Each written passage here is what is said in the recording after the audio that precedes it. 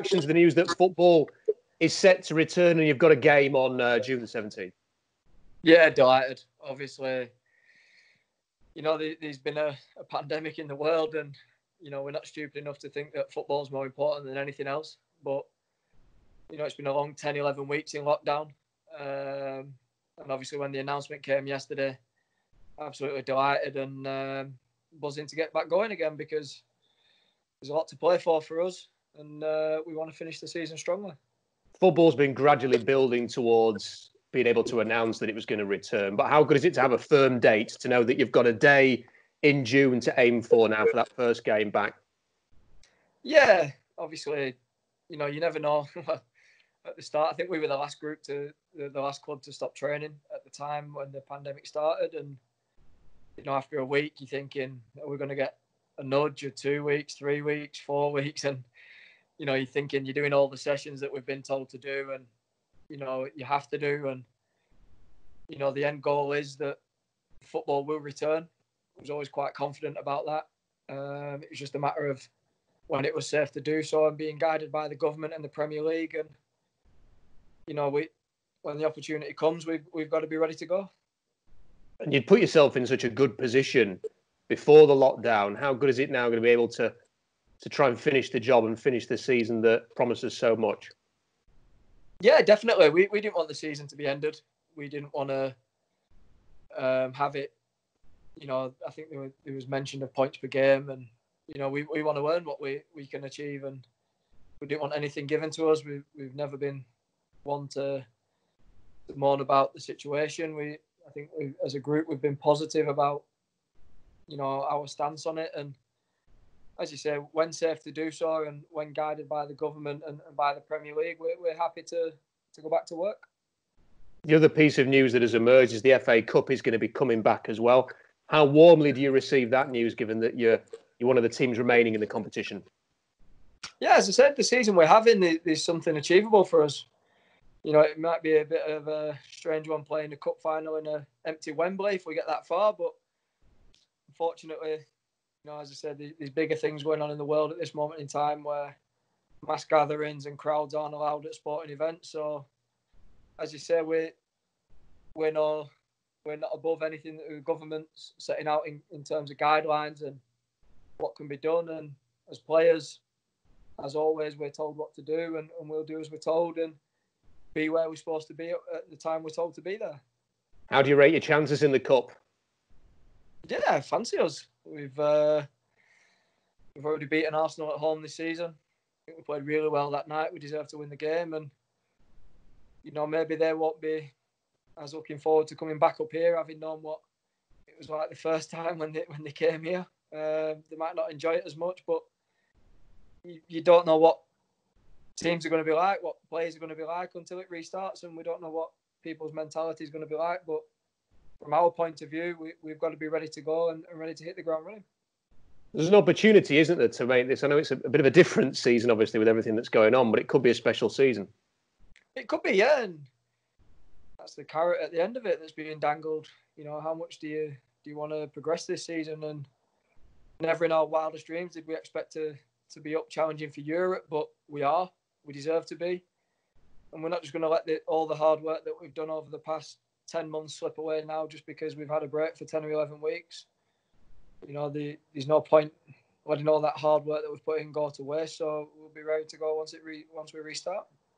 How good was it to get back to contact training? Yeah, it was. It was nice to just play football again.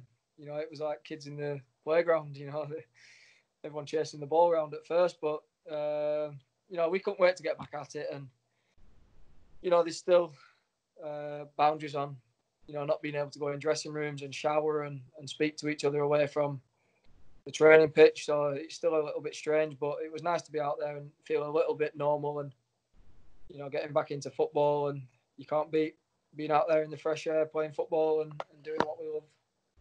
As a player, does it feel a little bit closer to coming back when you're actually able to go make a tackle as opposed to keeping your distance from everybody? Yeah, it does. I mean, last week still felt strange coming in and you know, you you're not allowed within six feet of people, and you you're literally running up and down lanes, and it's not really football. It's you know, it's just running drills really. But now we've we've started the five sides and the bigger stuff. Um, you know, that football fitness, that's where you get fit in them in that short, sharper stuff. And really looking forward to getting going again now. Yeah. How have you found the testing? Have you felt safe in returning to, to train? Yeah, um, twice a week. Obviously, you go through the the test. It's not the most comfortable thing, but it's, it's ten seconds, and you know, as long as as I've said, you know, in other interviews, as long as we are as players, you know, we have a responsibility to carry on living as if we are in lockdown because you know, if you contract the virus, you, you could miss two weeks to a month until you get the all clear. So it's important that you don't put yourself in that position that, you know, if you're unfortunate enough that you do pick it up because it seems that people are picking it up through bits of nothing. But, you know, there's a responsibility on us to, to protect ourselves, protect our teammates, and protect our families, most importantly, as well, away from football. So we've all got families, we've all got, you know, girlfriends, wives, children vulnerable family members who we want to protect as well. And with us going to work, as I say, there's a, a responsibility on us to behave in a certain manner. Has there been a message from the manager that's really stood out to you on this return to training and, and how best to prepare for getting back to Premier League football? Just do what you've done the past 10 months. Don't let it go to waste because this opportunity might never come around again. Um, it, we know how the manager works. He, he's ready to go now. He, would be having us playing tomorrow if he could. Um, and we're—I don't think we're too far away. I, you know, another week or so, I think we'd be ready because everybody's done the work. Everybody's, you know, put the, the grueling yards in, and it's not been nice. It's not been easy. It's been really, really tough. And but as you say, there's a light at the end of the tunnel now, and all that work will be worthwhile. And it's important that we're, we're ready to go. Have there been talks in terms of your contracts and, and extending your stay at Sheffield United? Yes. How have they progressed? You'll see soon. no, there's uh, there's been talks, yeah, but negotiations it takes time. But there's been talks, yeah. There's they're ongoing, and uh, hopefully there'll be a resolution soon.